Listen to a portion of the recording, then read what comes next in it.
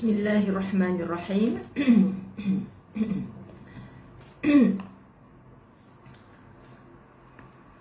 Alhamdulillah respon saya audio dan video okey ke sahabat-sahabat la tahzan masya-Allah Allahu akbar. Bismillahirrahmanirrahim. Alhamdulillahirabbil alamin wassalatu wassalamu ala asyrafil anbiya'i wal mursalin wa ala alihi wa ashabihi ajma'in. Rabbi shrah li sadri wa yassir li amri wahlul 'uqdatam min lisani yafqahu qawli. Rabbi yassir wa la tu'assir ya karim. Rabbi zidni ilma warzuqni fahma. Assalamualaikum warahmatullahi wabarakatuh. Apa khabar? Apa khabar? Sahabat-sahabat la tahzan. Insya-Allah segala kesedihan akan berlalu yang dalam musibah, yang dalam ujian, kan? Ini fasanya. Sebab hidup ini adalah ujian, okay? Saat ini dilanda musibah, insya-Allah. Terus tempuh akan bertemu dengan hikmah. Terus lalui dan bersangka dengan Allah yang baik-baik pasti didatangkan kepada kita yang baik-baik insya-Allah. Sahabat-sahabat yang mendung pastinya nanti akan turun hujan tapi tak semestinya Allah memberi gambaran kepada kita dalam hidup ini hujan bersilih ganti dengan panas, panas bersilih ganti dengan hujan. Adanya malam, tak selamanya malam, pasti akan adanya siang. Masya Allah.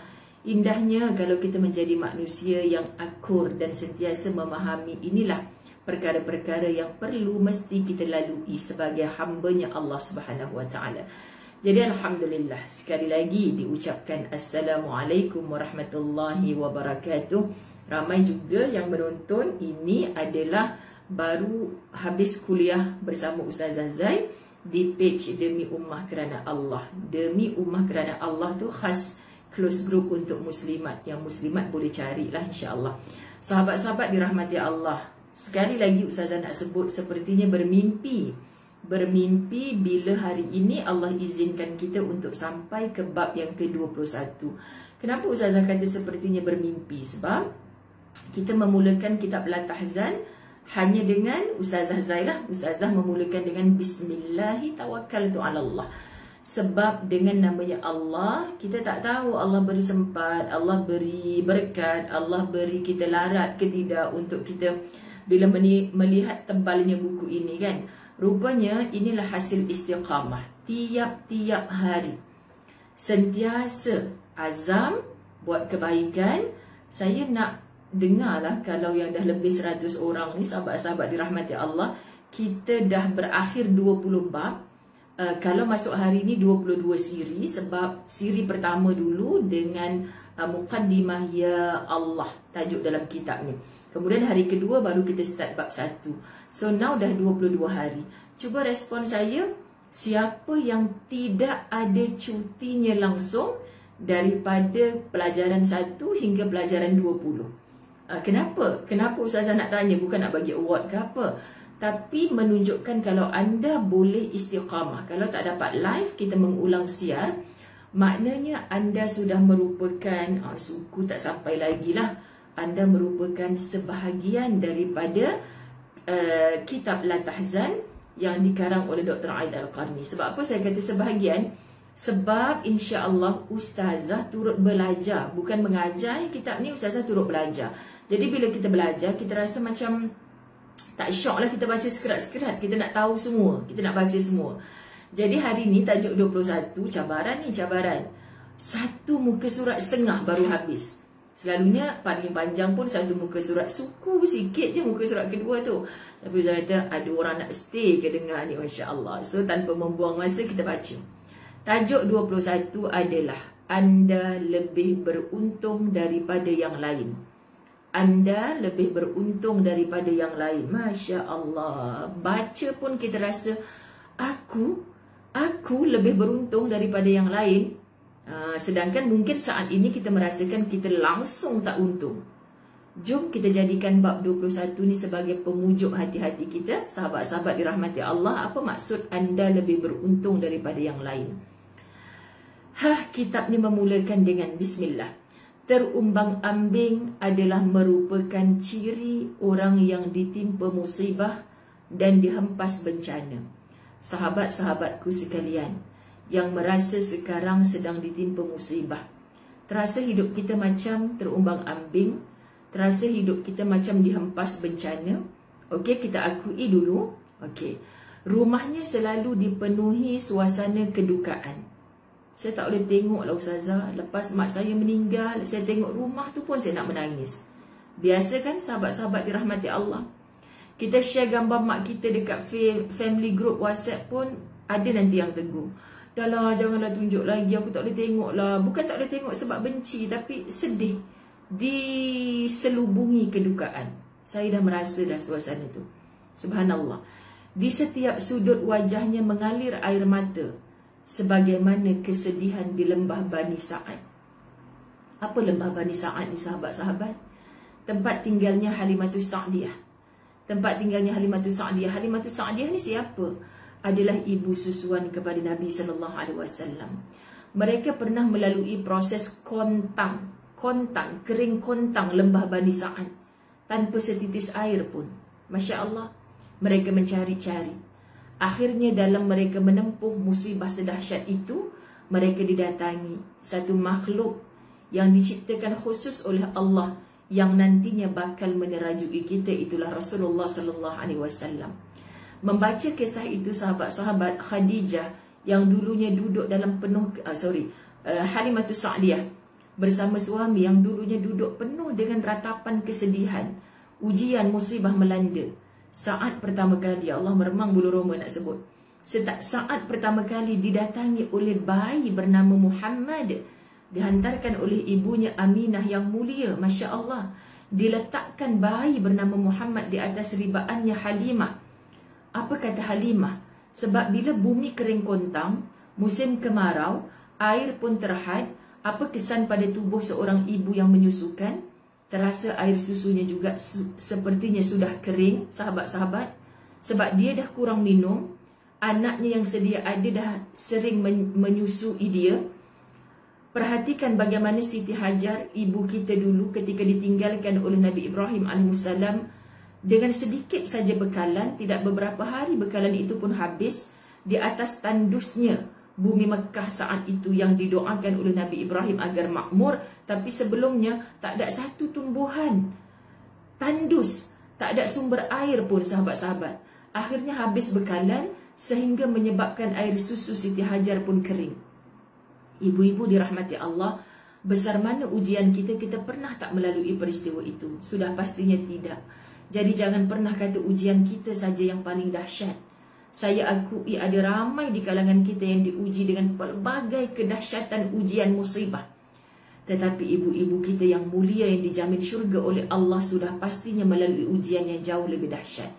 Jadi ceritanya Halimah Sa'diyah apabila diletakkan di ribaannya bayi bernama Muhammad, Masya Allah, tiba-tiba terasa seperti kantung susunya penuh dengan air.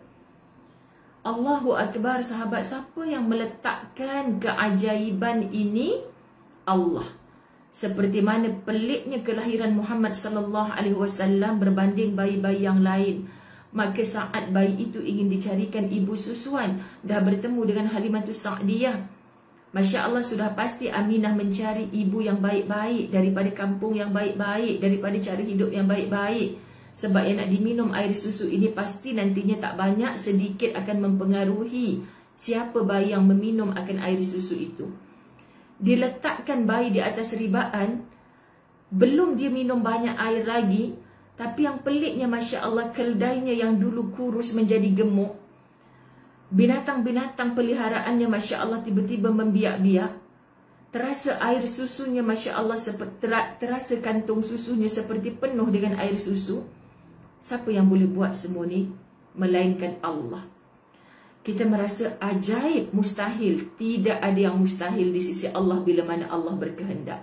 Jadi apapun musibah, dugaan, ujian yang kita lalui hari ini, tolong fokus kepada maha besarnya Allah. Allah yang maha berkehendak. Allah yang memberi takdir hidup yang begini.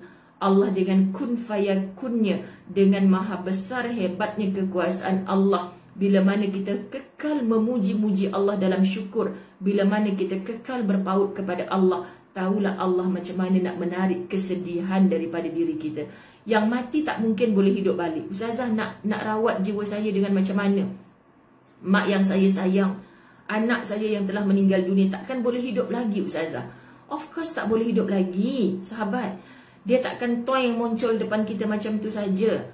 Tapi Allah ada caranya untuk meletakkan hati yang gelap tadi bercahaya. Dada yang sempit tadi menjadi lapang dengan bagaimana kita berpaut dan bersandar kepada Allah. So yakin untuk melepaskan perenggan yang pertama ini sebagai satu mukaddimah. Kedua, sesungguhnya betapa banyaknya penderitaan yang terjadi dan betapa ramai pula orang-orang yang sanggup bersabar menghadapinya, maka anda bukanlah satu-satunya orang yang ditimpa bencana.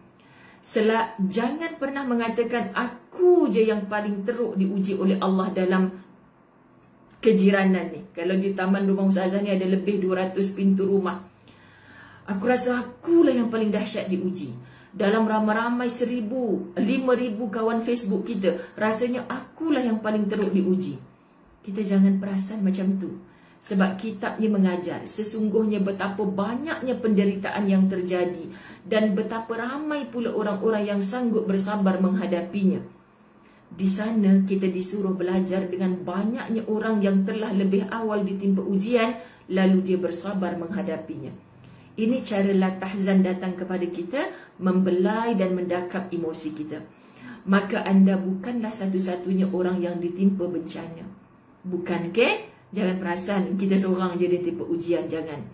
Bahkan mungkin penderitaan atau bencana yang menimpa anda tidaklah seberapa. Allah kalau baca ni jangan marah dulu. Tak seberapa kau kata dahsyat ni ujian aku ni. Sabar dulu. Sekiranya dibandingkan dengan bencana orang lain. Maksud isi kitab ini minta kita belajar. Memandang kehidupan orang lain bukan untuk busybody sahabat-sahabat dirahmati Allah subhanallah banyaknya cerita-cerita sirah eh, rasul-rasul yang terdahulu, kehidupan-kehidupan orang-orang alim yang terdahulu dalam mendepani ujian. Sebenarnya sahabat-sahabat bukan sedikit, tapi kita yang tidak banyak belajar. Kita yang tidak banyak membaca melalui sirah. Kita yang tidak banyak meniru akhlaknya mereka apabila ditimpa musibah. Jadi jangan pernah menyalahkan kegagalan orang lain. Okay? Penderitaan orang lain tidak sama dahsyatnya macam penderitaan kita. Sesungguhnya kita yang belum cukup explore lagi dengan apa yang telah berlaku di sekeliling kita. Lihatlah berapa ramai manusia di dunia ini yang terbaring sakit di atas katil selama bertahun-tahun lamanya. Dan mereka hanya mampu membolak-balikkan badannya sahaja.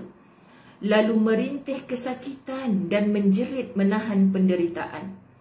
Sahabat, sebab tu Nabi SAW antara sunnah yang diajarkan kepada kita ziarahlah orang sakit. Ziarahlah orang sakit. Sahabat, Ustazah pernah ya, ni kita dah hampir 2 tahun, Ustazah rindu program-program yang selalu Ustazah buat. Setiap kali Ustazah diundang berceramah di luar kawasan KL dan Selangor ni, Ustazah tidak akan menjadikan musafir itu sebagai musafir yang hanya untuk berceramah di atas pentas, duduk selesa di bawah kipas dalam aircon kaki tenggelam dengan kapet masjid. Tidak tidak. Alang-alang sampai ke situ Ustazah akan buat program ziarah. Ziarah tu siapa? Kalau dengar mahat tahfiz rumah-rumah anak yatim tu biasalah. Madrasah-madrasah tu biasalah. Tapi kadang-kadang dalam sembang dengan orang masjid depa bercerita Ustazah saya ada jiran Ustazah. Ya Allah dia nak ambil rizal SPM keputusan cemerlang Ustazah insya-Allah tu akan dapat tu mana-mana IPT A ke IPT S ke insya-Allah boleh sambung belajar. Result dia bagus Ustazah tapi dia naik motor lepas tu biasalah budak-budak kampung ni Ustazah tak pakai helmet. Lepas tu dia nak buat U-turn, excited ni nak tunjuk result dia yang bagus dekat parent dia. Ni kisah benar ya sahabat-sahabat masa tu saya ceramah di Kelantan. Tanah Merah tak silap saya tempat tempat tinggal um, tempat saya berceramah tu. Lepas tu sahabat yang bawa saya ke situ tu, ah itulah Ustazah sibuk sikit saya tak, tak sampai hatilah tengok mak budak tu. Dah lah tu anak harapan, anak paling pandai, anak yang paling diharap lah. Tengok kehendaknya Allah. Eh, sahabat-sahabat dia nak buat U-turn, dia langgar. Memang teruklah bahagian kepala dan orang ingat dia takkan hidup lah. Ditakdirkan Allah, kehendaknya Allah. Budak ni hidup, budak remaja ni hidup. Dan bila keluar daripada hospital, sudah pastinya doktor kata dah tak ada apa rawatan dah. Semuanya okey lah. Maknanya dia stabil tapi keadaannya macam itulah. Lumpuh sepenuhnya. Dia bawa balik ke rumah. Ya Allah, saya saya terbayang peristiwa tu. Lama sangat dah saya pergi dan apa cerita sekarang ni pun sahabat-sahabat saya dah lama tak pergi ziarah. Keadaan masa tu, mak dia, ya Allah saya jumpa dengan senyum. Dengan anak yang macam mana tahu sahabat-sahabat dirahmati Allah. Macam mana eh? Dia baring kat katil, katil single bed tu, dia, dia letak kat ruang tamu, dekat bahagian kepala, kepala katil ni sebab rumah sangat kecil. Ya Allah kesian sangat. Adik-adik dia kecil-kecil lagi dekat kepala ni apa tingkap yang kita boleh buka berlapis-lapis tingkap-tingkap biasalah rumah kampung biasa. So kat situ dah macam silau cahaya matahari kan tapi dia buka tingkap tu ya Allah macam mana aku nak tolong bagi bagi selesa kedudukan ni. Lepas tu sahabat-sahabat dirahmati Allah yang paling saya tak boleh tengok segala besi-besi macam cerucuk besi dekat kepala ni. Dia macam ada Kita tengok ni dia terbaring Ada gantung dekat atas tu Ni pihak hospital datang buat ni Gantung ke atas tu Sebahagian lagi ikat dekat Jeriji tingkap ni Untuk menahan besi Besi ni untuk apa? Menahan kepala dia ni daripada bergerak Sebab segala rosak dah ni Sampai ke tengkuk-tengkuk ni Jadi dia tak nak bergerak Untuk menyembuhkan Bahagian dalam kepala Kelapa pula dah Kepala tu kan kita tak reti nak cakap cara orang hospital bercakap. Tapi saya tak boleh tengok. Saya terus berpaling, saya terus menangis. Ya Allah, kuatnya mak dia. Mak dia boleh senyum tengok saya menangis. Macam mana ya Allah? Kita kalau tengok orang macam tu ya Allah ya Tuhan minta maaf aku nak cakap juga ni ya Allah. Kalau sampai tahap macam ni ya Allah minta maaf sebut ya Allah lebih baik mati daripada hidup. Itu manusia yang biasa punya pandangan. Tapi sahabat bila kita pandang balik Ya Allah maha besarnya engkau berkehendak dia hidup Engkau menguji keluarganya orang tuanya Ya Allah Automatically baru dalam beberapa minggu Kakak sulung tu duduk kat situ Adik yang kecil-kecil boleh pandai Macam mana nak bantu mak ni nak menjaga anak ni. Mak dia kata Ustazah Allah mudahkan urusan Ustazah. Yang kecil boleh pandai tolong. Boleh pandai tolong macam mana nak mandikan kakak Nak lap tubuh kakak. Yang kecil-kecil tak usik besi dekat kepala kakak ni tak sebab doktor sangat pesan jangan bergerak kepala ni. Sebab tu diikat besi tu. Allahu akbar saya tak boleh tengok. Yang ustazah duk teman saya tu, ustazah kat kampung tu teman saya tu dia faham lah. Saya dah tak boleh bercakap sahabat. Dia pegang saya dia kata apa? Ustazah saya faham apa ustazah rasa sebab saya masa mula-mula tengok pun macam tu. Tapi cuba ustazah tengok mak dia kan ustazah kuatnya. Masya Allah sahabat. Jadi setiap kali kita nak mengeluh dengan kehidupan kita ni Yang konon kita kata ujian sangat banyak Ya Allah Tuhan Kuatnya orang tu anak yang paling diharap Biasa orang kematian kehilangan anak Tapi ni nampak depan mata dengan besi yang macam bercerucuk kat, kat kepala tu sahabat-sahabat dirahmati Allah.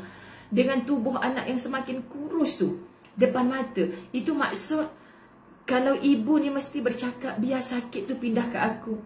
Atau ya Allah aku tak sanggup tengok anak aku menderita macam tu. Ya Allah aku redha kalau kau nak ambil nyawa dia. Tapi Allah belum berkehendak. Sebab tu saya bila dalam perjalanan balik Saya sembang dengan sahabat Ustazah tu kan Saya kata Ya Allah saya faham kenapa Allah Kenapa Nabi suruh kita ziarah orang sakit. Kenapa disuruh kita santuni orang-orang yang susah. Kenapa kita disuruh turun padang istilahnya macam tu supaya engkau merasai. So rasa kerdilnya jiwa rasa takutnya nak mengeluh dengan ujian kita yang tak seberapa berbanding ujian ibu tadi tu. Masya Allah tabarakallah baru kita jelas sebab tu jangan kita hidup sahabat-sahabat nafsi-nafsi aku rasa aku takkan susah dengan gaji puluhan ribu yang aku dapat aku takkan susah dengan bodyguard dengan pembantu rumah sampai 4 5 orang jangan pernah sombong kita yang setiap bulan 3-4 kali terbang ke sana sini dulu. Sekarang apa jadi dengan duit-duit kita yang berkepuk tu sahabat? Akhirnya seperti gunung yang ditarah. Lama-lama boleh habis juga. Kalau kita masih mengharapkan pekerjaan yang gah kemasyuhuran. Tapi kita tak tahu pandemik ini sampai bila berakhir. Allah sedang menguji sanggup tak kita rendahkan hati kita. Bukan hidup di atas puncak begitu saja. Berapa ramai sekarang orang yang dulunya kaya sekarang dah merasa kemiskinan dalam hidup. Siapa yang berkehendak demikian Allah. Tapi bagaimana kita susah sahabat-sahabat, jom kita pandang di sekeliling kita. Insya Allah itu akan mendatangkan kekuatan. Dan Ustazah balik ke KL, bila rasa nak bermewah-mewah sikit, bang kita dah hantar murni nama anak remaja tu. Bang kita dah, apa yang kita nak tolong dekat keluarga murni? Kita dah tanya ke belum dekat Ustazah Ruslina tu? Apa yang kita nak tolong bang? apa yang kita boleh bantu, dah telefon ke belum, dah bank in ke belum. Kita jadi malu sahabat-sahabat untuk bermewah-mewah, berlebih-lebihan bila mata kita menonton dengan mata hati keadaan orang yang jauh lebih susah. So kita akan dapat jiwa yang lembut untuk sentiasa tunai apa yang Allah suka tengok pada kita. Sebab kita pelik kadang-kadang tengok orang dah buat baik, baik lagi, dah buat baik, baik lagi. Itu kerja dalaman yang memaksa untuk luaran kita turut khidmat tanpa rasa penat. Percayalah sebab tu lepas kita dah boleh berziarah ni sahabat-sahabat dirahmati Allah tolong ziarahi orang sakit, ziarahi orang susah. Sebenarnya tak jauh. Kadang orang tu duduk dalam kampung kita je sambil kita balik kampung ziarah kubur mak ayah kita, ziarah mak long pak long kita sahabat. Rupanya belakang rumah dia saja. Tapi kita yang tak buka mulut, kita tak bertanya Pak Long, tak maaf lah nak tanya. Kat kampung ni ada ke macam mana orang susah ke? Ha, kan? Hang dah pasal apa duk tanya macam tu? macam tu kan kadang kan. Cakap saja je lah kan. Dah lama tak balik kampung ni kok boleh ziarah. Entah Pak Long tak berapa kenal. Tapi kalau hang nak pergi bolehlah kita pergi sama-sama petang ni. Ha, memang Pak Long kita pun tak tahu kadang-kadang. Kadang kita baca kat Facebook. Saya selalu tahu sahabat-sahabat dirahmati Allah. Eh, ini rasa macam tempat aku pernah ceramah dulu. Ha, so Ustazah kontak. Uh, Ustaz tahu tak uh, ada tempat ni? Oh saya pun tak tahu Ustazah Cuba Ustaz pergi Riki tempat tu Usha-usha sikit Macam tu kan sahabat Betul lah Ustazah Kesian dah tengok Kita cari sahabat Itu pun usaha walaupun hanya dengan hujung jari Walaupun hanya dengan call hantarkan wakil Tanya apa keadaan Apa keperluan dia Sebab kita dah tak boleh berziarah dengan cara jasad kita sekarang ni. So jangan matikan tubuh kita hanya betul-betul just stay at home. But betul lah kita cakap kita mati kutu dah tak tahu nak buat apa macam duduk dalam penjara. Sebab hang tak menggerakkan seluruh yang ada. Jasad dah tak boleh ke sana sini. Apa yang ada gerakkan mata anda, gerakkan jari anda dengan hati yang sentiasa bergerak. Fikrah fikiran kita, akal kita yang sentiasa bergerak. Aku hidup bukan seorang-seorang duduk dalam rumah ni. Tapi aku hidup kena banyak menebarkan kebaikan menjadi manfaat kepada orang lain. Pasti benda tu akan balik kebaikannya pada diri kita sendiri. Subhanallah. Okey, satu contoh yang Ustazah nak bagi. Pagi tadi sahabat, sebelum Ustazah start kuliah. Ada seorang hamba Allah, staff KKM kan, staff KKM. Beliau baru habis webinar dengan uh, kawan-kawan doktor ke uh, KKM lah. Mereka mungkin dalam webinar itu dipertontonkan antara gambar pesakit-pesakit COVID yang lama duduk dekat ward. Yang lama di pembaringan di atas katil. Kan kadang mereka ditidurkan begitu lama. Mereka tak boleh bergerak. Dan bayangkan kesibukan doktor. Sedangkan Ustazah jaga mak Ustazah stroke dekat hospital dalam berapa hari je pun. Ustazah tengok, Ya Allah, renyahnya kerja misi ni, kerja nurse ni. Dia apa saja balik-balikkan tubuh. Sebab apa nanti kalau lama sangat timbul pula kudis-kudis dekat belakang tu. Kata ya Allah mulianya lah kerja nurse-nurse ni ya Allah. Ustazah ni. So kita ni bila balik jaga mak sakit dekat rumah kita terkenang-kenang. Kena buat macam ni jangan terbaring je nanti panas belakang belikat mak ni berpeluh tumbuhlah apa ni kudis-kudis macam tu kan. Contoh kita cakap kita tak nak macam tu.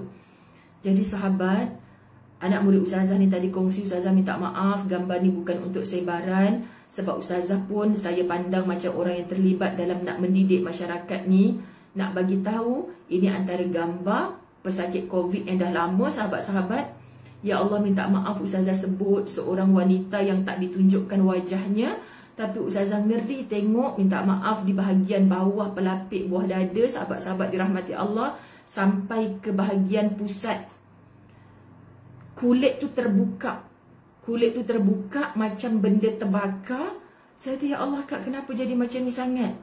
Ustazah, perkara macam ni boleh berlaku kepada orang yang dah lama dibaringkan, yang tak dapat perhatian kita. Jangan salahkan doktor ataupun misi yang bertugas kalau dah timbunan kes.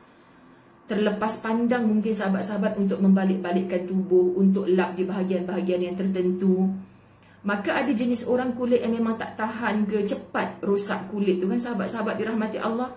Ya Allah patutlah kita ni macam mana pun kena dapatkan vitamin C melalui matahari, pancaran matahari kan. Ustazah awal-awal, bukanlah awal-awal dalam sebulan lepas gitu. Macam jadi pening-pening kepala. So anak-anak murid nasihat Ustazah tak boleh duduk kat rumah saja sangat. Ustazah kena keluar dekat posh tu tengok pokok-pokok kat luar tengok dekat belakang rumah ustazah tu oh, betul juga sebab saya sejujurnya memang tak keluar langsung eh, saya pergi rumah bapak saya tu pun dah gelap dah tak ada matahari untuk solat maghrib dan isyak biasa jadual saya macam tu pergi rumah bapak saya dekat dengan rumah maghrib dan isyak tu kira keluar jugalah kereta ustazah dah dua bulan genap ustaz semalam gelap yang dah 1 Ogos dah ni. Kenapa bang? Last abang isi minyak kereta sayang tu 1 Jun. 1 Jun. Jun, Julai, sekarang dah Ogos Tahu tak dua bulan dah tak isi minyak kereta? Sebab minyak kereta memang dia yang isi sahabat-sahabat. Dia kata abang ingat satu Jun, satu Jun abang isi. Ni dah satu Ogos dah. Memang saya tak guna kereta langsung Tak keluar Masa doa-doa lah nanti kalau masjid surau dah buka Ustazah tak lupa mana break mana uh, Nak tekan minyak mana kan Allahu Akbar Begitulah sahabat-sahabat dirahmati Allah Jadi kita pandang ya Allah takutnya Kesiannya Mereka menjerit menahan penderitaan Sahabat-sahabat, kita baru diuji dengan sikit kadang-kadang kita tak tahan. Jom kita kuatkan dalaman kita. Kita pandang mereka yang jauh lebih susah. Kita cakna dalam ummah ni sahabat. Kita tanya para asatizah yang buat kerja-kerja kebajikan. Apa lagi ustazah saya boleh tolong? Apa lagi ustaz? Kalau kita dah jumpa orang yang paling amanah yang kita percaya, datangi dia. Saya nak ikut ustaz, uh, ustazah pergi sana sini. Ialah anak kecil-kecil suami. Kan makcik-makcik masjid selalu nak ikut Ustazah. Ustazah, Ustazah pergi hantar bantuan banjir kat Kelantan dulu kan. Saya nak ikut tak bayar cik, tak bayar. Kenapa Ustazah tak bagi? Acik kalau ada duit simpanan ke apa, hantar kat saya banyak manfaatnya. Kalau acik pi acik nak pegang batang mok, nak pegang apa penyapu, nak pegang ni, uh, nak tolong orang masa-masa banjir tu nak bersihkan rumah. Di tengah lumpur tu cik, mas, apa ni banjir baru baru selesai ni baru surut air. Acik tengok gambar-gambar yang saya tunjuk ni. Selut sampai dekat betis ni. Acik nak ikut ke? Elok baru nak masuk kampung nanti. Terkehil, bengkak kaki, patah kaki masuk hospital. Anak cari saya. Tak payah. Ikut kemampuan kita sahabat. Tapi jangan dah tahu kita buat-buat tak tahu. Macam mana kita nak latih hati kita ni hidup. Yang keras jadi lembut. Yang gelap jadi putih sampai kita dimatikan dengan kesejahteraan hati itulah dia qalbun salim Masya Allah berapa ramai orang yang dipenjara selama bertahun-tahun lamanya tanpa dapat melihat cahaya matahari walau walaupun sekali dan mereka ini hanya mengenal jeriji-jeriji selnya sahaja. Allahu Akbar sahabat. Kita rasa kita terkurung. Di mana kita terkurung ni? Di rumah sendiri. Penat duk kat dapur, dah PKP, pakat kembung perut, dah makan, makan lagi, dah makan, makan. Saya ni suka bergurau dengan anak-anak murid sahabat pagi-pagi semalam Ustazah cucuk vaksin kedua kan. Lepas tu pagi-pagi dah Ustazah okey ke? Ustazah lepas cucuk vaksin kedua semalam orang kata jenis AZ ni kuat mengantuk. Lepas tu Ustazah pun kata tak adalah ngantuk kak sebab saya baru je bangkit tidur. Kan? Lepas tu ada lagi yang WhatsApp Ustazah okey ke? Ustazah lapar tak? Saya lepas cucuk vaksin tu betul lah orang kata lapar, lapar Ustazah. Tak adalah lapar sebab hobi saya memang makan, asyik makan, dia tak sempat nak lapar. Gurau sebenarnya dengan dia. Tapi kadang-kadang semua ni berlaku adalah kita set minda kita. Orang kata lepas cucuk vaksin ngantuk, orang kata lepas cucuk vaksin lapar. Saya cakap dengan ustaz, sebab uh, yelah suami saya kesian dia hari ni didatangi keropok leko daripada Terengganu biasa maksimum 500 pack Hari ni sampai 650 pack sahabat-sahabat dirahmati Allah. InsyaAllah dia kata abang ni mungkin silap ada bulan maghrib kot baru balik. Lepas tu ingat bang eh, uh, letak atas tembok je. Kurangkan tak payah jumpa orang. Abang pun baru lepas ni. Kita pun tersilap buat jadual. Ha, kalau kita tak hantar hari ni pula bila. Lepas tu nampak dia sihat, sangat sihat pagi tadi. So saling memberi semangat, sihat okey. Abang tak ada rasa pening-pening. Abang tak ada rasa macam ngantuk ke macam dia kata ni. Simple je dia jawab. Mindset betulkan. Okay, betulkan mindset. Kalau kita duk kata orang kata ngantuk, orang kata ngantuk, kan kita kita ngantuk. Orang kata uh, tak larat, tak larat. Saya pun masa first vaksin dulu pun demam juga sehari macam itulah. Dengan izinnya Allah, uh, ambil lah petua-petua makan penedol tu. Alhamdulillah. Okay, jadi bila ustaz tengok masa first vaksin tu saya demam, saya tanpa ambil penedol saya demam, dah demam baru ambil penedol. So semalam balik-balik tu yang uh, kita ambil ikhtiar. Uh, sampai-sampai je kat rumah ambil satu uh, apa ni ambil vitamin C, ambil penedol. Uh, hati ni dah nak memberontak dah. Alah, belum demam lagi dah nak kena ambil penedol. Lepas tu, ish, jangan ingkar. Manalah tahu ada berkat dengan cakap suami tu. Alhamdulillah sahabat tu bangun, segar tubuh. Tapi bila orang cakap, wah hebatnya ustazah. Bukan sebab hebat tu. Kita tak tahu besok lusa apa akan terjadi.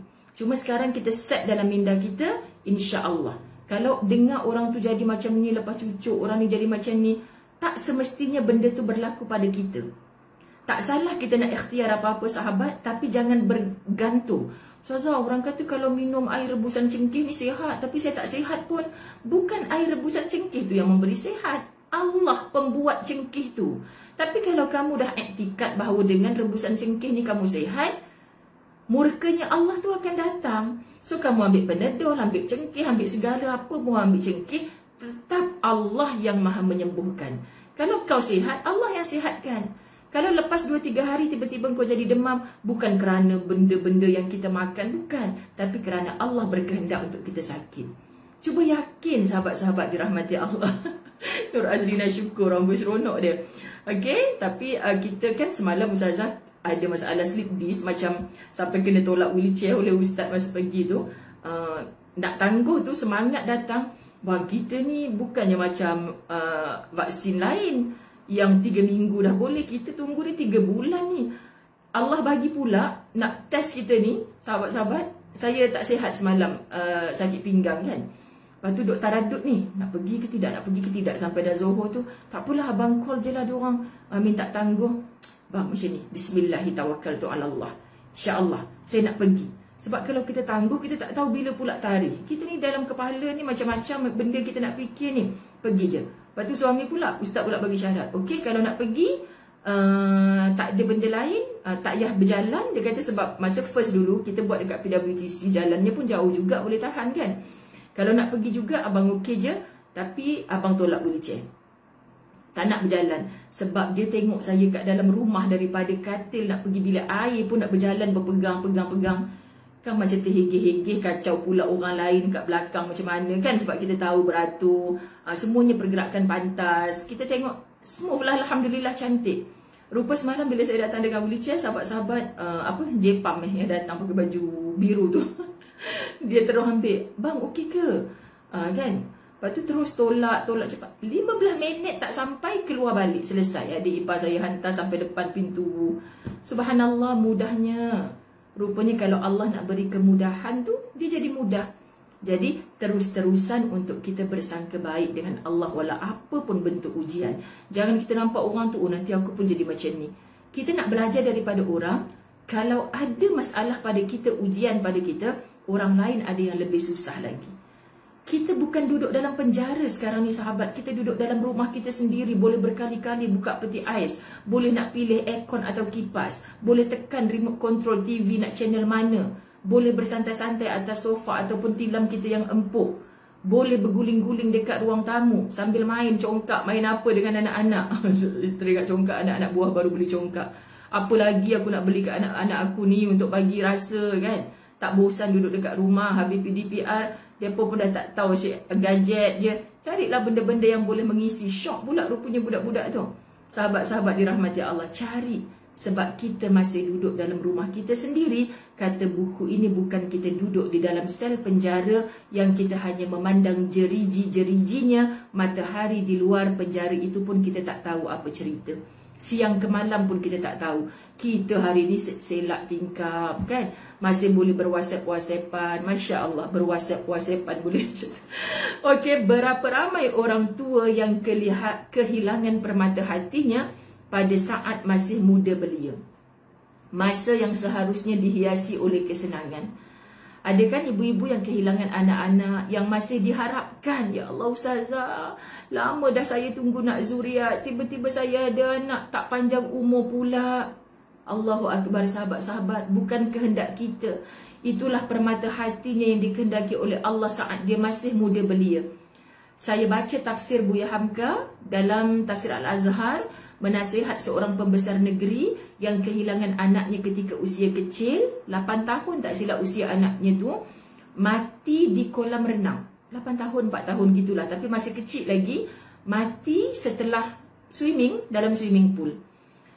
Buya Hamka menziarah. Apa kata Buya Hamka bila menziarah sahabat yang sedang sedih? Dia kata, syukur anakmu mati saat masih dibangga-banggakan olehmu. Tersentak orang tu. Apa maksud Buya Hamka seorang ulama? Syukur anakmu mati saat dibangga-banggakan olehmu. Ih, siapa tak syok budak kecil sahabat boleh jadi timang-timangan, boleh jadi kawan kita, boleh bergurau-gurau main geletek-geletek dengan dia. Allah confirm lah ibu-ibu akan menangis bila teringat, bila rindu akan anak-anak ni. Maksud Buya Hamka dalam memujuk kawan tu apa? Takutnya kalau sebab Allah tahu kamu mampu. Kalau Allah itu zalim sahabat-sahabat, mungkin Allah mengambil anakmu. Ini cerita Buya Hamka dengan sahabatnya. Saat anakmu sudah tidak boleh dibanggakan lagi. Bila mana anak yang tidak boleh dibanggakan dalam bahasa Indonesia-nya sahabat? Maksudnya saat anak itu sedang mendurhakaimu. Okey sahabat, saat sedang menyakitkan hatimu. Kasihan pada kamu, kasihan kepada anak kerana anak mati dalam perbuatan durhakanya kepada ibu dan ayah sudah pasti tidak ada redanya orang redanya Allah kerana dia tidak beroleh redanya ibu dan ayah. Maksud Buya Hamka nak bagi tahu berita gembira dekat orang ni, kawan dia ni, anakmu tu confirm syurga. Kamu sedang membangga-banggakan dia. Dia belum punya dosa. Dia itu sedang menunggu kamu di syurga. Faham maksud? memberi sedikit ceria di hati, pengharapan untuk kehidupan selepas mati akan bertemu lagi dengan penduduknya syurga. Siapa penduduknya syurga itu? Adalah anak dia sendiri. Yang Allah nak uji, Allah nak test, kuat tak dia? Tempuh tak dia dengan terus menjadi hamba Allah yang baik? Subhanallah sahabat-sahabat. Apa lagi? Betapa ramainya manusia di dunia ini yang menderita, mendapat ujian dan cobaan, belum lagi kepada mereka yang setiap saat menahan himpitan hidup. Kita rasa himpitan hidup ni macam roda sekejap kita ke atas, sekejap kita ke bawah. Tapi ada orang yang merasakan dah jatuh timpa tangga, tangga timpa, shilling pula timpa, lepas tu langit pula timpa. Ustazah hidup saya ni setiap saat terhimpit. Sudah pasti ada yang merasakan demikian. Kitab ni pun mengakui. Sahabat-sahabat, memang ada orang yang sentiasa merasa hidup ni terhimpit. Jadi, kita perhatikan. Kini sudah tibalah waktunya untuk anda mengunjungi mereka. Tu awal tadi saya cakap, sunnahnya Nabi saling ziarah. Sebab itu orang yang ziarah orang sakit bersamanya kita on the way nak pergi hospital baru ada niat ni. Baru ada niat uh, nak bawa apa ya pergi hospital. Suami pun bising. Tak payahlah nak balut-balut hamper buah-buah dia pun buka makan. Hulur duit je nanti. Pergi dengan adab tidak berlama-lamaan eh. Ah, ketika ziarah mungkin orang tu nak rehat, nak datang tetamu lain pula lagi. Asal tanda simpati kita. Mendoakan dia. Dan kita jangan lupa minta doa daripada dia. Sebab orang sakit ni sedang diuji Allah dengan kasih sayang. Sedang digugurkan dosa-dosanya oleh Allah. So sahabat-sahabat dirahmati Allah. Dengan kita mengunjungi dia itu. 70 ribu malaikat sedang bersama-sama dengan kita. So jangan ziarah orang sakit mentang-mentang si sakit tu masih boleh bersembang dengan kita, kita ajak dia ngumpat orang pula. Kita ajak dia bersangka buruk dengan orang pula. Kita cakap benda yang jahat-jahat pula. Kita ziarah orang sakit sedang diiringi 70 ribu malaikat. Kita pula ajak dia mengumpat, cakap yang buruk-buruk, sahabat-sahabat dirahmati Allah. Ngumpat kenapa suami dia tak ziarah, kenapa mak mertua dia tak ziarah. Oh, Allah pelik. Malaikat daripada nak mencurah rahmat, terus lari bertempiaran meninggalkan kita. Ini syarah yang diberi faham oleh para ulama. Mulia dah datang dengan kebaikan nak ziarah, tiba-tiba kita buat benda yang Allah tak suka. Sedangkan orang ziarah ziarah orang sakit tu diangkat darjatnya oleh Allah. Kembali dengan penuh ibrah ya Allah bang, tak sampainya hati tengok tadi kakak tu kan bang. Semoga Allah beri kuat kat dia. Kalau Allah beri kita macam tu kita pun tak mampu. Muhasabah Malaikat yang 70 ribu tadi ikut pula kita balik ke rumah Sampai settle proses ziarah Dan bayangkan kalau hati kita ni sentiasa nak ziarah-ziarah-ziarah orang sakit Dengan beradab sahabat, sekarang ni orang sakit COVID, sedihnya kita tak boleh ziarah.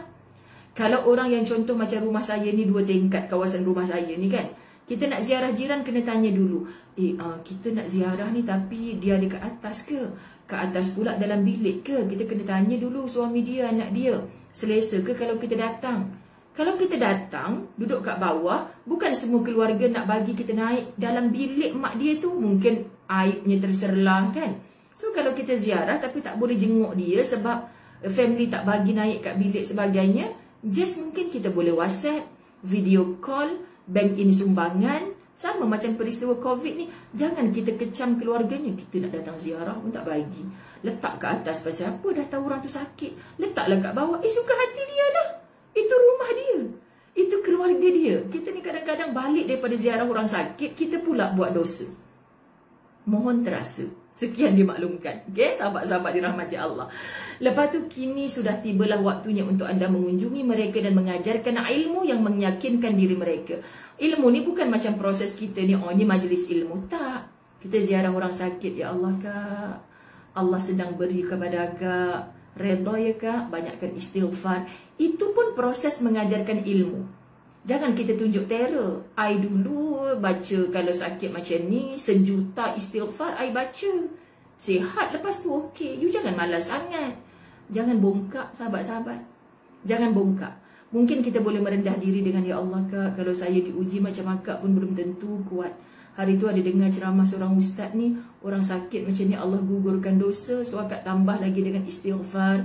Akak tak mampu seribu kali, akak dapat seratus kali pun Alhamdulillah. Nah saya hadiahkan akak tasbih digital. Ya, akak larat sambil akak lemah, tak larat daripada aduh, aduh, aduh. Akak ganti dengan Allah, Allah, Allah. Itu proses ilmu. Sejuk hati dia mendengar sahabat. Insya Allah. Sebab apa yang kita bawa tu daripada hati untuk bagi dia makin dekat dengan Allah. Okay? So yakinkan diri mereka bahawa hidup ini adalah penjara bagi orang mukmin dan rumah bagi kesedihan dan penderitaan. Akak orang beriman sebab itulah Allah uji akak macam ni. Betul lah kak. Kan? Hidup ni tak ubah sebenarnya macam penjara bagi orang beriman. Akak orang beriman kan? Sebab tu lama akak duduk kat hospital. Mak Ustaz Azwan dulu duduk kat hospital 5 bulan. Juara dalam sejarah hospital Kulim. Paling lama 5 bulan lebih duduk kat hospital sahabat-sahabat dirahmati Allah. So kami pun dah jadikan rumah tu macam dah jadikan hospital tu macam rumah lah. Ha, wajibkan diri untuk pergi ziarah sentiasa. Kan? Jadi uh, orang mukmin, akak ni orang beriman kan bukan orang muslim biasa-biasa sebab tu ujian akak hebat. Biasa bagi orang beriman hidupnya diliputi dengan kesedihan dan penderitaan daripada ujiannya Allah. Kita cakap sahabat apa yang kita dapat daripada kitab Latahzan.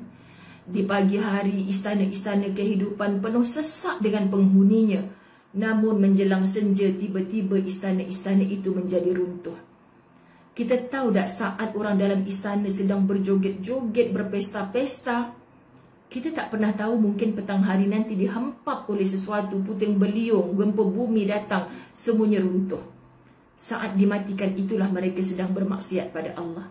Tapi akak sedang duduk di atas pembaringan. Tenang, di tangan ada tasbih. Daripada berkeluh kesah dengan apa yang Allah beri, gantikan dengan menyebut, menyeru namanya Allah. Sahabat-sahabat kita pujuk macam tu. Andai ditakdirkannya Allah, kita nak faham kalau mati pun matinya kita dalam zikrullah. Okey, sahabat-sahabat. Mungkin saat ini kekuatan masih utuh. Badan masih sihat. Kita ni harta melimpah dan keturunan yang dijadikan banggaan-banggaan tu banyak jumlahnya. Namun dalam hitungan beberapa hari sahaja, semuanya boleh berubah. Boleh jatuh miskin, kematian datang secara tiba-tiba, perpisahan yang tidak dapat dihindarkan dan sakit yang menyerang secara tiba-tiba. Yes. Semua benda Ustazah tiba-tiba je jiran saya tu meninggal. Sehat tak sehat, duduk tak duduk je Ustazah. Ustazah tiba-tiba je yang muda kena COVID pula meninggal, yang tua sihat afiat balik. Ustazah tiba-tiba je rumah dia terbakar. Ustazah tiba-tiba. Memang kita selalu dikejutkan dengan ketiba-tibaan. Sebab mati itu pun tiba-tiba sayang. Mati tak pernah bagi dekat kita tarikh sekian. Cuba google, google.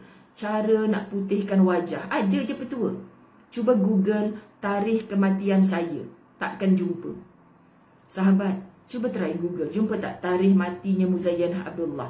Tarikh matinya, uh, minta maaf eh, Nurizan, Nurlizan Izan. Contoh, debar jantung Nurlizan Izan. Kita takkan jumpa. Jangan risau. Google lah kita takkan jumpa. Sebab ia menjadi rahsia Allah. Dan Allah sebut dalam Ibrahim ayat 45. A'udzubillahi minasyaitonirrajim.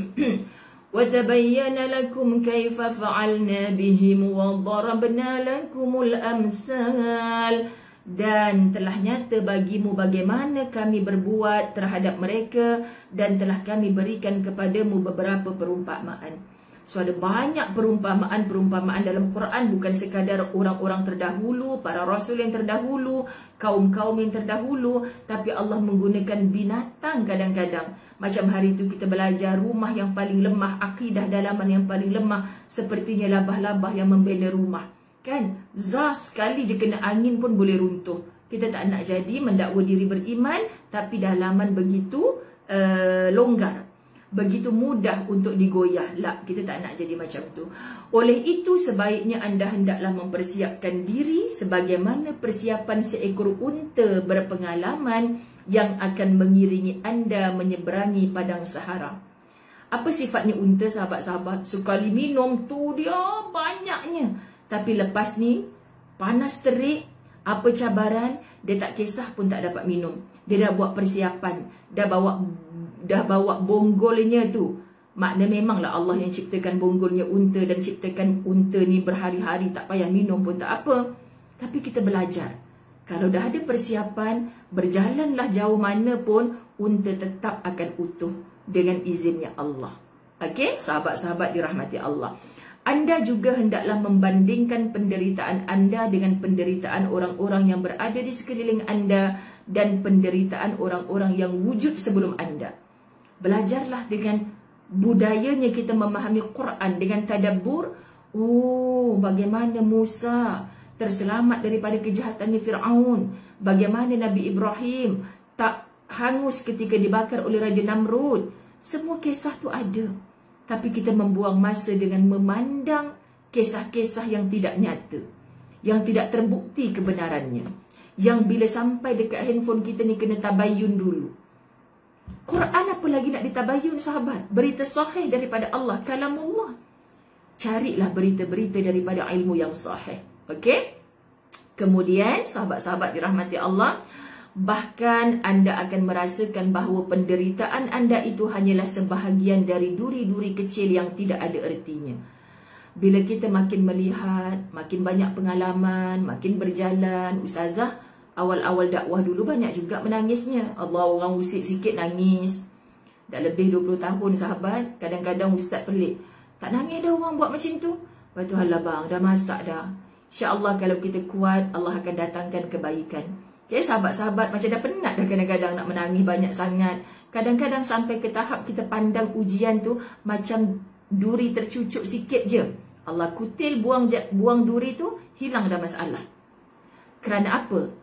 kerana berpautnya kita kepada yang maha kuat itulah Allah okey maka panjatkan segala kepujian kepada Allah di atas semua kebaikannya itu bersyukurlah kepadanya di atas apa yang telah diberikan kepada anda bersabarlah di atas semua yang diambilnya dan muhasabahlah terhadap diri sendiri tujuan kita ziarah orang tujuan kita tengok bukan kita nak eh laki kau datang tak ziarah anak-anak engkau bagi duit berapa sebulan. Bukan itu tujuan kita ziarah.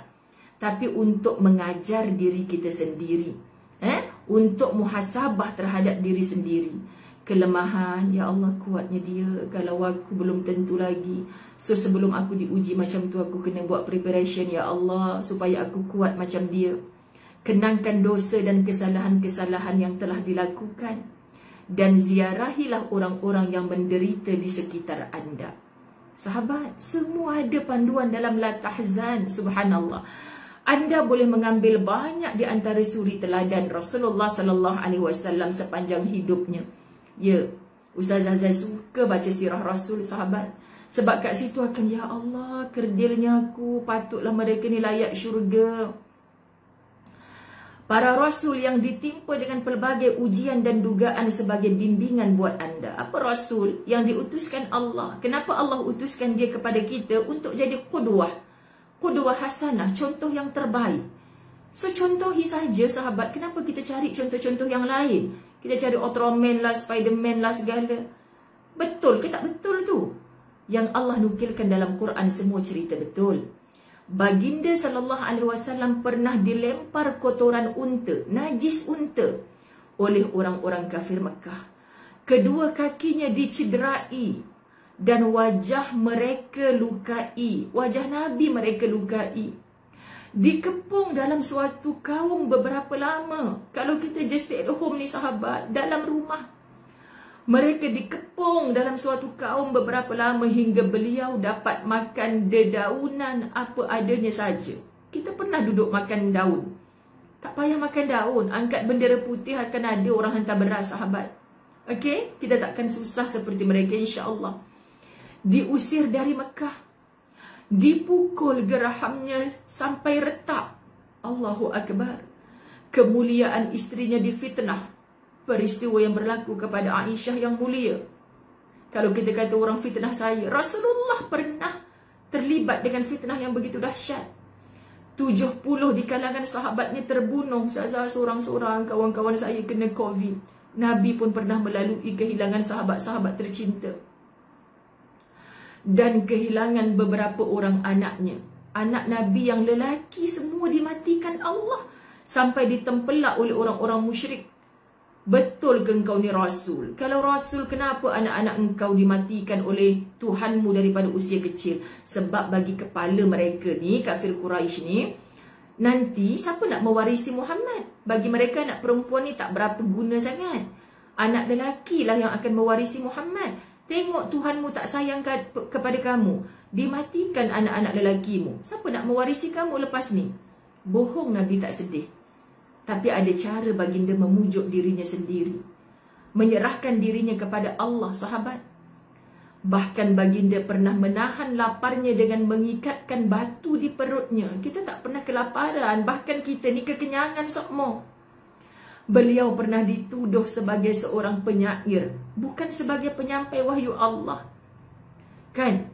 Bila Nabi sampaikan wahyu Allah, ini sama dengan kata-kata penyair dituduhnya Nabi. Mereka tak percaya bahawa Quran adalah kalam Allah. Mereka kata Muhammad ni sebagai dukun. Sebagai orang gila dan pembohong. Itu sebab mereka panggil Kazab, Muhammad penipu, Sahar, Muhammad si tukang sihir. Jahatnya mereka. Namun Allah melindungi dari semua itu. Dan semua perkara tadi adalah merupakan cobaan dan dugaan yang harus Nabi hadapi dalam perjuangannya dan penyucian jiwa yang tiada tara dan bandingannya. So please, apa sahaja ujian yang sedang kita lalui, inilah perjuangan kita. Yang memang perlukan pengorbanan. Dan inilah cara Allah nak sucikan jiwa kita. Ni maksud penyucian jiwa. Apa yang kita duk belajar dalam tazkiyatun nafs, duk sebut, sebut, sebut, duk hafal segala istilah. Tapi Allah uji kita dengan sesuatu kita tak kuatkan jiwa kita. Kita takkan bertemu dengan namanya penyucian jiwa. Allah ada perancangan sahabat menguji kita untuk kuatkan kita untuk tinggikan darjat kita untuk sucikan jiwa kita. Allahu akbar. Sebab tu ayat apa ni tajuk kali ini anda lebih beruntung daripada yang lain saya masih tak faham Ustazah kenapa kita diuji anda lebih beruntung sebab Allah sedang pandangmu Allah sedang pilihmu untuk diangkat darjat sebagai orang beriman. Ada yang Allah biarkan terus macam Fir'aun. Aku tak suka dengan suara Fir'aun sebab tu dia minta pagi tengah hari dah dapat apa yang dia nak. Sebab tu dia boleh berumah istana yang dibalut dengan emas dan permata. Aku tak suka orang macam dia bongkak. So dia minta apa pun aku tak nak dengar suara dia. Tapi sahabat-sahabat ni dirahmati Allah. Cuba kita tengok Bagaimana rintihan-rintihannya orang beriman. Ya Rab Dah berbulan-bulan saya berdoa Ustazah dah bertahun-tahun. Allah tak dengar ke doa saya Stop daripada bersangka buruk dengan Allah. Sebenarnya Allah sedang ketagih Nak mendengar suaranya orang beriman. Lagi diuji lagi mencari Tuhannya. Lagi diuji lagi mencari Tuhannya. Itu merupakan hiburannya bagi Allah Allah suka dengan rintihan ratapan orang beriman, sahabat. Kalau kita suka dengan lagu apa ya, pilihan apa ya, tapi kesukaannya Allah mendengar rintihan orang yang beriman. Orang bongkak sekali berdoa biasa je untuk Allah makbulkan. Sebab apa? Allah tak suka mendengar suara dia. Allahu Akbar. Sebelum itu Nabi Zakaria dan Nabi Yahya alaihissalam dibunuh. Nabi Musa diusir dan dikejar oleh Fir'aun. Nabi Ibrahim dibakar hidup-hidup. Cobaan-cobaan itu turut menimpa para khalifah dan para pemimpin. Sahabat Umar radhiyallahu an dilumuri dengan darahnya sendiri. Uthman radhiyallahu an dibunuh secara diam-diam. Ali ditikam dari belakang. Dan masih banyak lagi di antara para pemimpin kita turut menerima dugaan yang sama di mana punggung para imam penuh dengan bekas sebatan. Imam-imam yang tidak bersalah sejarah dunia berapa ramai di penjara. Disebat dalam penjara tanpa ada salahnya. Kita tak pernah sampai tahap tu sahabat. Orang-orang terpilih dimasukkan ke dalam penjara dan juga dibuang ke negeri lain. Orang yang bermaksiat pula yang dipelihara dalam negara. Berlaku kan sekarang ni sahabat?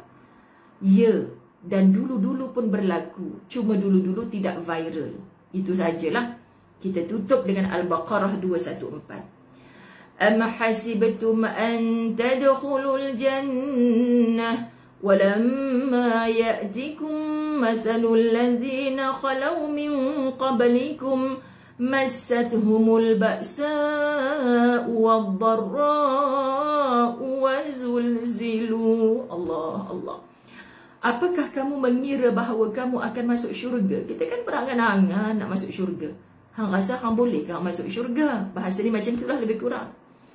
Padahal belum de- belum datang kepadamu cobaan sebagaimana halnya orang-orang terdahulu sebelum kamu. Kita dah melalui ujian. Tapi ujian kita sikit sangat berbanding ujian mereka. So kita rasa senang ke kita nak masuk syurga dengan ujian yang sedikit ini pun kita tak redha? Sedangkan mereka yang dijamin syurga ujiannya sangat-sangat besar berganda-ganda daripada kita. Mereka menempuh dengan redha. Sahabat, mereka ditimpa oleh malapetaka dan kesengsaraan serta digoncangkan dengan bermacam-macam cubaan. So siap sedialah wahai wahai wahai calon-calon bidadari-bidadari syurga. Bersiap sedialah wahai orang yang nak masuk ke syurga untuk diuji atas dunia. Itulah yang menunjukkan anda lebih beruntung daripada yang lain. Sebab ujian ini dengan redanya kita Allah sedang daftarkan nama kita di dalam syurga. Tempat istirahatnya orang beriman. Tempat kemuncaknya segala nikmat. Semoga yang duduk di dalam itu abadan abada adalah kita Wallahu a'lam. Ustazah mohon ampun maaf zahir batin. Terima kasih semua atas perhatian. Tak sebut tak sempat ustazah nak tegur satu persatu. Ustazah sayang semua kerana Allah. La tahzan innallaha ma'ana. Allahumma